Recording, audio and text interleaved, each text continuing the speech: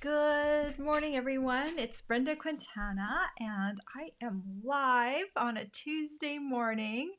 And today is a cloudy, overcast day, and uh, it was a little cold this morning. Not too cold, but it's it's uh, getting towards the winter. Not winter yet, but um, just colder weather in in general. So I'm a little bit uh, more warmly dressed today. And today is the day when we take a card out of the catalog or one of the Stampin' Up! catalogs and we give it a makeover.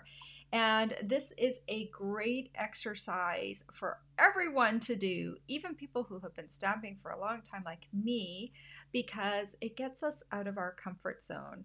We tend to do cards the same way over and over again because that is easy for us.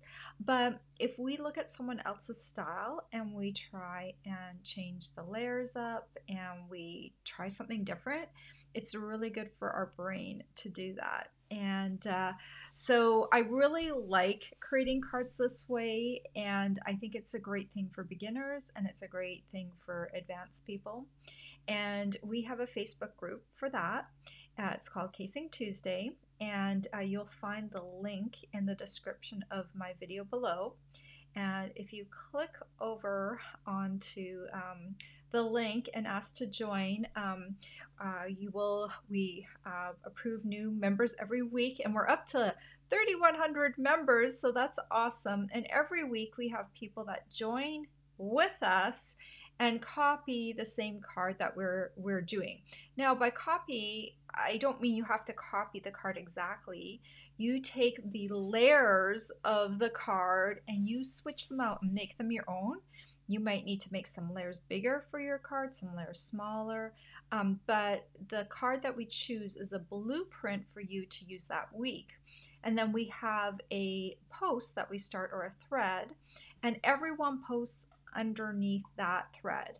So when you go back and look, you can see, oh, there's the original card. And here are all the different variations that people have come up with. So it's kind of fun. And uh, we have a great community over there. And good morning to everyone who's joining me. Thank you, everyone, for joining me. I will talk with you afterwards so we can get to the card at hand. So let's take a look at um, the card that is today's card. It is this card, and it's almost at the back of the catalog. And sorry, I'm a little, it's a little blurry. Um, usually we have images right out of the catalog that we can use that Stampin' Up! provides us.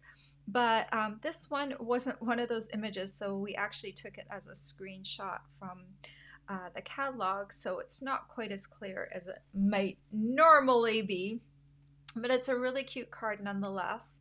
And I like the layers on this card. I think uh, you, it's very fun to build a card around those layers. So if you break down the layers, oops, there we go. This is what it looks like. And you can see all the different layers and how they are um, uh, brought together. And those are the measurements that you can use or you can change them a little bit. Like I tend to change mine a little bit just based on what I'm creating that day, the sizes of my images images.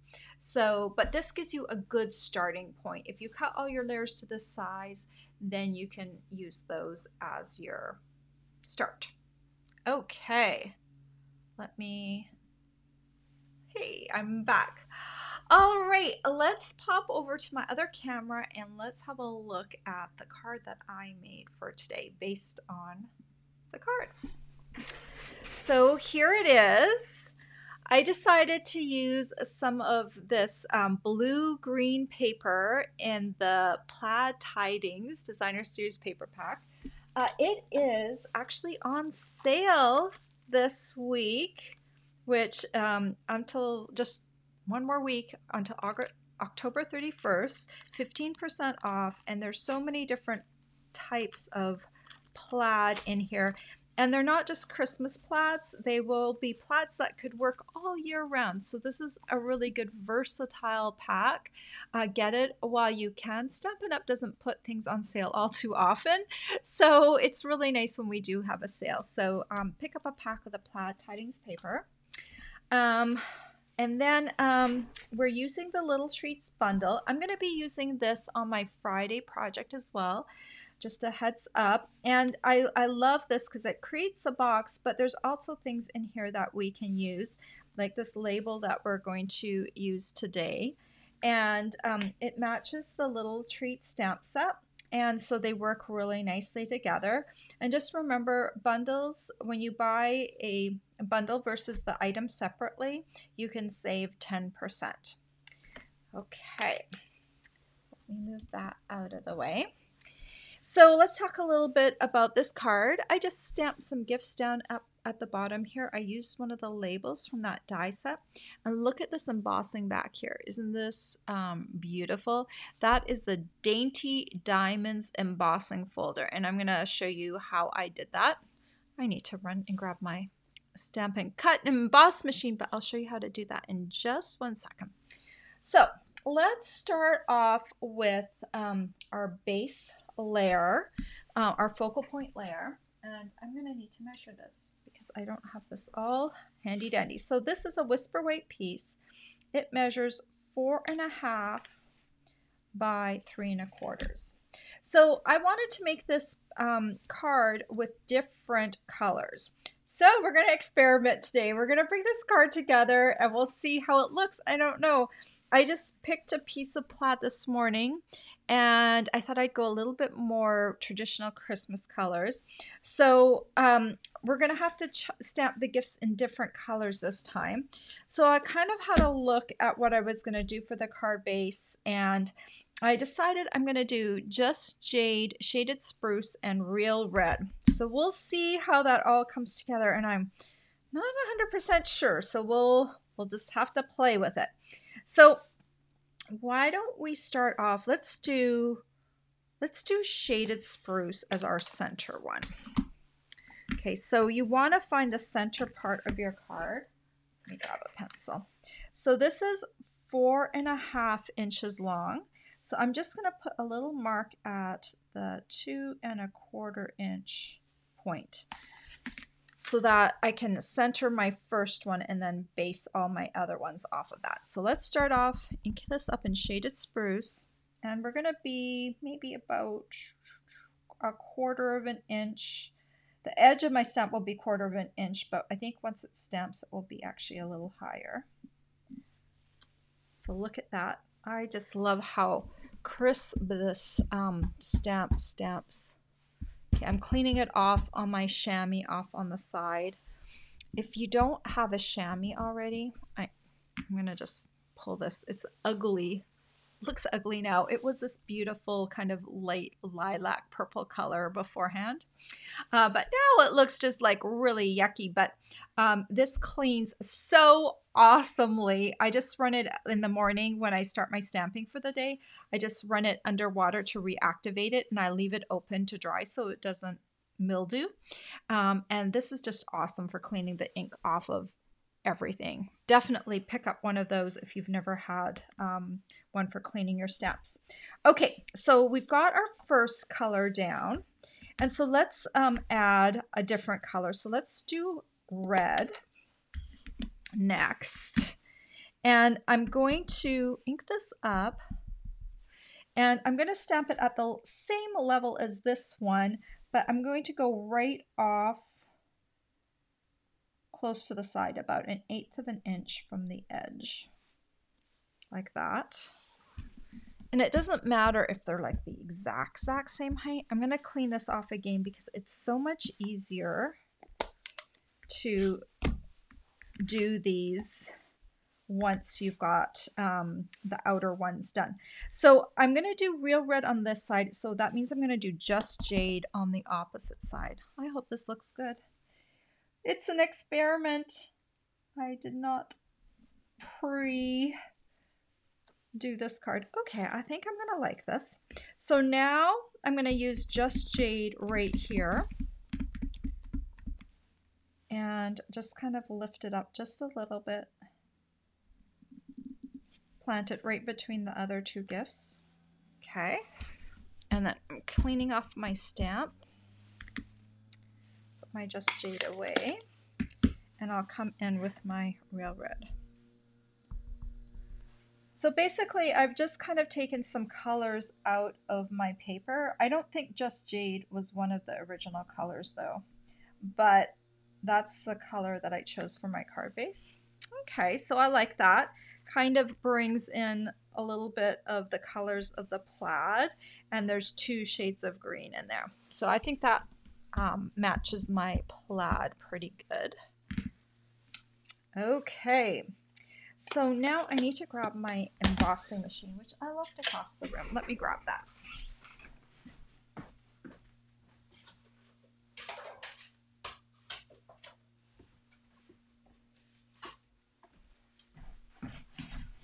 Okay.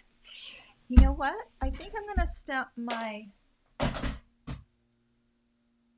trying to decide. I'm to cut first. Yes. I'll cut and then I'll, I'll stamp afterwards. I'm just, with this tag right here, I'm, it was just trying to decide whether it's easier for me to line it up in the machine after I've stamped it or the other way around. And I think I found for this one, it's better to cut the tag first. So I'm going to do that. So let's go grab this. This is my base platform and I need my uh, next piece number two for my dies. Then I'm going to grab this little guy right here. And let me see if I can find a piece of Whisper White. Okay, here's one. Put one cutting plate down. Put this down on here. And then I'm just going to run this through.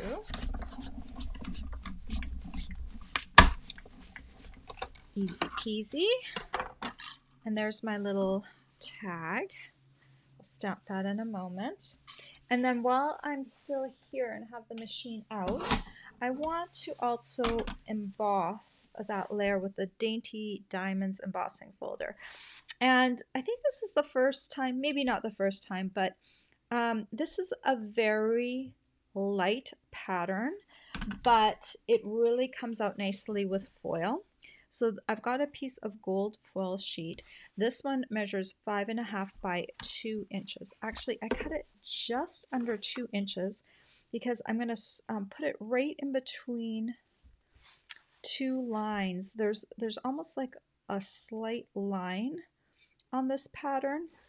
And what I want to do is get it in between those lines because if they are right on the edge, there's kind of like a little raised lip on the edge when you do that. And I'd prefer that not to kind of stand out. So for this one, we need to get rid of plate number two and go right down on the base platform.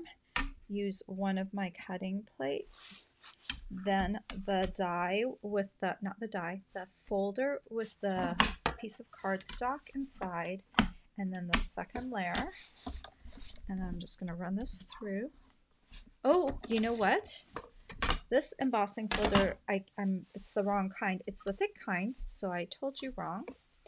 Need to get rid of both of these. See, when I was doing that, I kind of felt like it was wrong. It was didn't feel like it was going through well.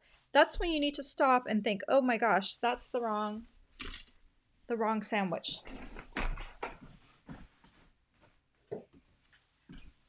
This is the plate that we need for our thicker embossing folders. For our thinner ones, we would use the number one and then the two clear plates. But for the thicker embossing folders, we need number one plate and number four plate. It tells us right here, right on here. I just forgot that this was a thicker one. So number one, the embossing folder with the foil in here and number four plate and now we'll run it through and now it feels right before it was like oh doesn't quite feel right. So that's when you always need to double check your sandwich and make sure it's correct. Okay let's see how this is going to look. Let's see Ooh, look at that. Isn't that pretty? It's a very light pattern. It doesn't bump up too much but it looks like tin. It's just gorgeous. All right, let me put this aside. And we're starting to build all the layers of this piece. And now we have this little piece we need to stamp on. And there's my little ho ho ho Merry Christmas. And I think I'm going to use the darkest green for that, the shaded spruce. So I'm going to just ink this up. And I want to make sure this is somewhat centered. And here's a little trick. If you're stamping afterwards, this little um, greeting would actually fit on a B block. Let me remove this. I'm going to get um, my ink ink on my fingers here.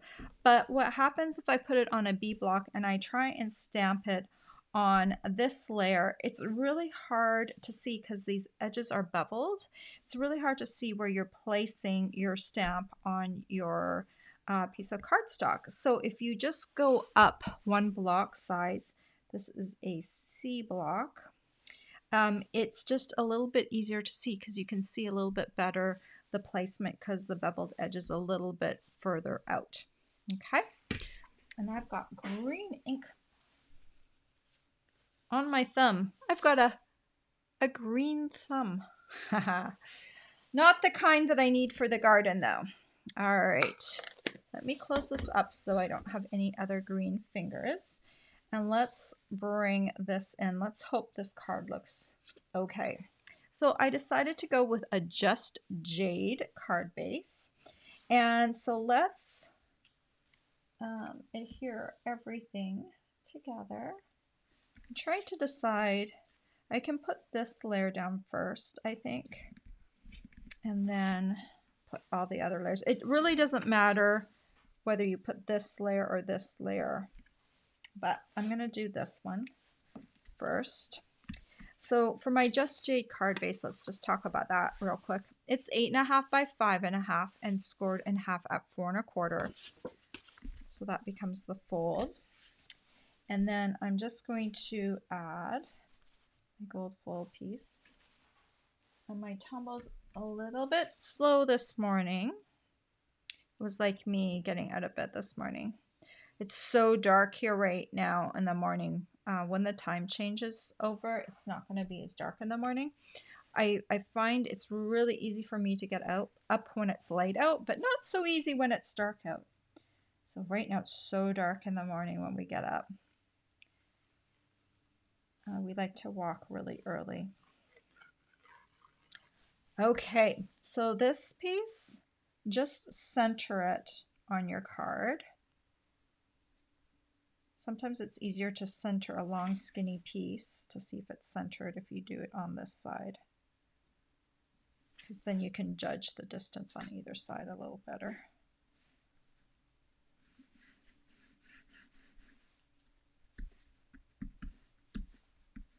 Okay. So now we're going to do this piece. Look at this color of plaid. This would be a really nice fall card, but I, I don't know. It's not really colors that I would typically ascribe to uh, Christmas.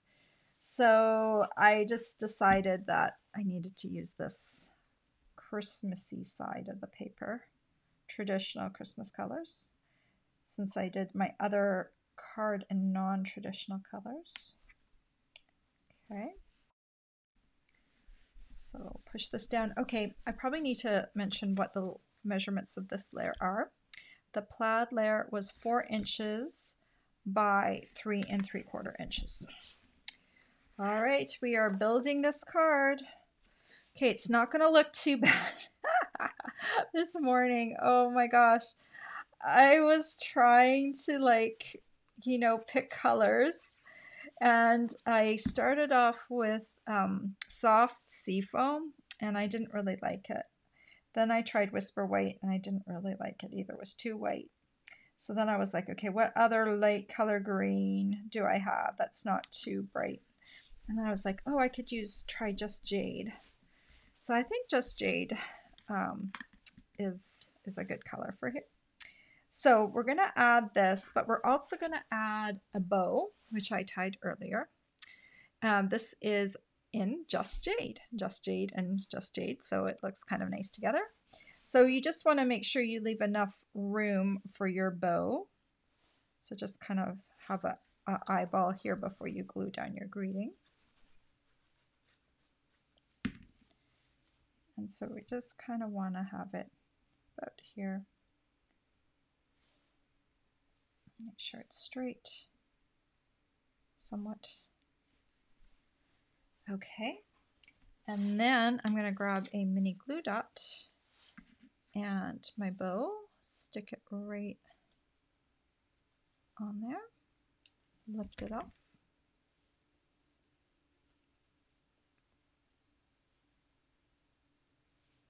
And then stick it down on there. What do you think? Not too bad for a card with colors I threw together this morning.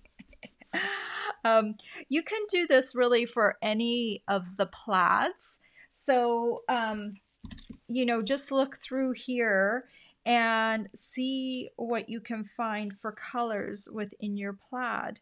You know, here I see peacock. I see maybe a dark purple. Um, you could do, um, oh, you know, blackberry bliss. And you could do like maybe a green, a blue, and a the blackberry bliss. You could add in an orange or a yellow as well, but you can take each one of these papers and pick out colors from them to create your cards with. So that's kind of the fun thing about trying to figure out which one do you like better, the blue one or the green one that I uh, threw together uh, today. Um, they're both kind of different. This one's got more color variation in it with the, the red and the green, and this one's kind of blue green. Blue and green are closer together, so they kind of have more of a monochromatic monochromatic feel even though blues and greens aren't they're different colors but um uh, and this one I think just kind of matches the plaid. And I like the gold on this one because it, there's a little bit of a gold um, stripe in here. So it kind of makes sense that you bring the gold in from here. And the blue greens are more um, are more closely related to the silvers. So let me know which one you like best. And I'm going to come back around here. And, oh, my hair sticking up. When I lean over my card, it kind of goes, kind of goes a little wild. Okay. All right. Good morning, everyone. Good morning, Karen and Janine. We've got Karen's in New Jersey and Janine's in Indiana. And it's dark, dark in Indiana. Yeah, it's it's kind of dark here this morning. Oh, and Geraldine's here from North Carolina. Hi, Geraldine. Glad you could make a live for once. That's great. Um, and Amy is in Washington and she has snow on the ground. I know last week you told us it was snowing and now it's actually kind of just stayed there. That's crazy. Um, Betty, good morning from Oregon. That's neat. We have like a whole bunch of states represented this morning. Good morning, Mary. Um, and thank you for sharing, Betty. Good morning, Jeanne. I hope I pronounced that right. Um, Karen says she loves the inspiration I get from your sketches. Well, thank you. You know what? Amy, who's on here, is the one who actually creates the sketches um, for us. So thank you, Amy. She does all the hard work of the sketches because we all have to, um, we have a whole group of bloggers behind us. Um, so we have Lori on our group, and she does um, all the member um, uh, requests. She handles all of them and welcomes everyone to the group. Um, I kind of coordinate everything.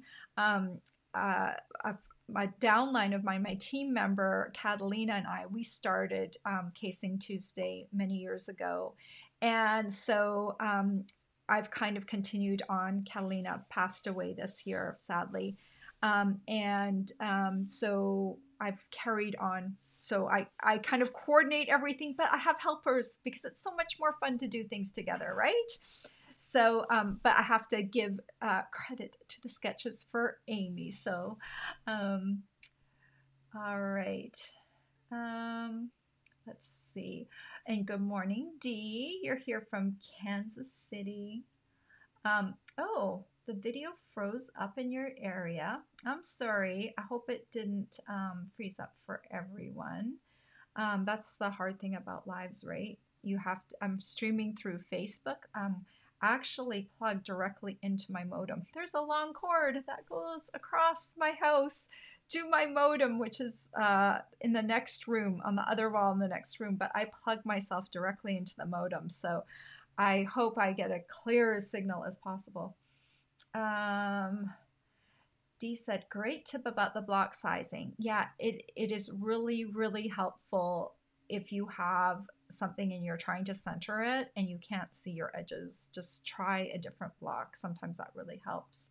Or you can do use the Stamparatus. I don't use the Stamparatus a lot on my videos because um, I like to get the Stamparatus set up when I'm making a lot of cards, like maybe 50 cards at one time. And then it's so easy to stamp them and place them. But if I'm making like two or three cards, um, for me personally, I don't need the Stamparatus because I'm uh, at this point, this many years in, I've been stamping, I think about 18 years. Um, I've been had the practice so that normally I can get it right, but the Stamparatus is huge for me um, if I'm stamping a lot of cards because then it is actually faster because you set it up and then you can just keep going and um, I need to bring my Stamparatus out and, and do that a little bit more often because I forget about that aspect of it when I'm just stamping one card. Okay. Um, D says the plaid and gold are really good together. And the colors you chose go together very well. Thank you. Mary says she likes the blue. Jan likes both. Janine likes the blue.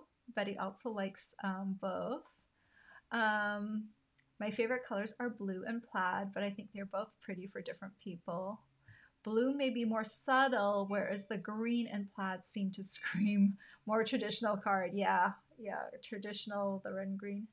Good morning, Beverly from Quebec. You are just north of us in Massachusetts. Um,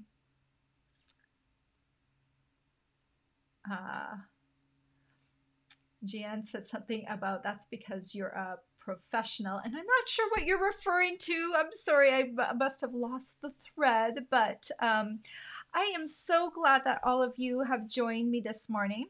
Just remember if you want any of the supplies that I talked about or want to take a closer look at them, just uh, click on over to my blog. The link is down below in the description of this video. You might need to click on see more um, to see my full description.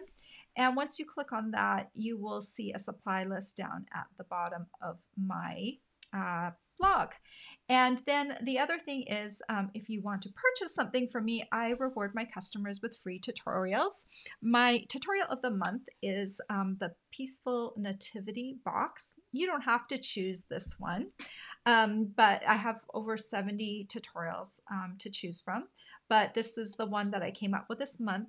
It is a tea light holder and a gift box. So um, you can find out more information about that on my blog. Your order just needs to be at least $15. So that is like really a small amount. And um, then you can earn this for free instead of having to purchase the tutorial. Um, what else can I tell you? Um, I already told you you can join our Facebook group, CASE-ing Tuesday, by clicking down below. Um, and then, oh, on Friday, I will be over on YouTube with a live video at 10 a.m. Eastern Standard Time. If you are interested in um, uh, seeing that video live, make sure when you uh, click over to my blog, click on the videos uh, menu item up at the top, and that will take you over to my YouTube channel, and you can subscribe there. And if you click on the bell, you can also get notifications of when I go live. I try to be pretty consistent. 10 a.m. Eastern Standard Time is generally my time, unless there's a problem, which, you know, life happens. There's not always um, uh, perfection in timing, but generally 10 a.m. Eastern Standard Time is the time that I will go live on Fridays. Um, but if you get notifications, that will also help you. Um, it will notify you once I go live. All right. Oh, Jian. Okay, you, um, now explains her her comment, and now I understand because what I was talking about is, um, she said that I was a professional, and that's why I could stamp uh, straight. And uh, yeah, I guess after a while, like you do, kind of have that, you know, um, that level of competence that you can do that. Thank you. That's really sweet, and um, uh, uh, GN says she can't uh, get things straight. Well, you know what? Some people will never be able to do it because it, it's their brains work differently, and that's why we have great tools like the Stamparatus um, to help us. Or it could be just a time thing. You know, it's it's whatever you put time into, you will get better at um like skill wise that has been the story of my life. You if you went back in my life and you saw how i started crafting when i was a little girl um i was in um in canada i was in brownies and girl guides. And uh, we didn't do a lot of crafts at home. And so my skill level wasn't very good and a lot of the other girls did do crafts at home and their skill level was so much better than mine. And sometimes i felt really kind of down um, because i wanted to be better. And um, i kind of shoved art to the side eh, of my life like because i really felt like i was not really good at it and i just said you know what um, I'll do other things in life. And, um, but I was introduced to stamping um, when my son was little. And I just instantly fell in love with this form of art. And after a while, I realized that now with um, my adult body, I was much more skilled at things.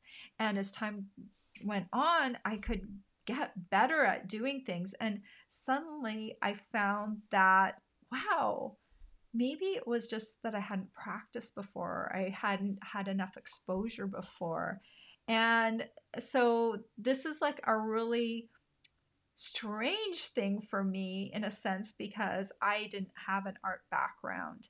I I didn't think I was good at art, and now coming into this this hobby, um, it is an art form, and it's awesome. And when I see that in myself, I know that there are other people out there that maybe just haven't practiced, don't have the confidence level yet. So, you know, I'm like 18 years in. So, you know, it's whatever you put time into. And I'm sure there are things in your life that you are way better at than me just because you've spent time with it. And um, so I hope that's encouraging to anyone out there that takes up a hobby. Don't don't judge your your first experience uh, if something is str- is crooked um, it's not stamped 100% you need to give yourself a little bit of time to get into it and just the sheer time that you devote to something will will get you better right? All right i'm like on my little soapbox this morning aren't i well, I hope you guys have a great week and I hope to see you on Friday on my YouTube channel. Um, so I will see you then. Take care. Bye bye.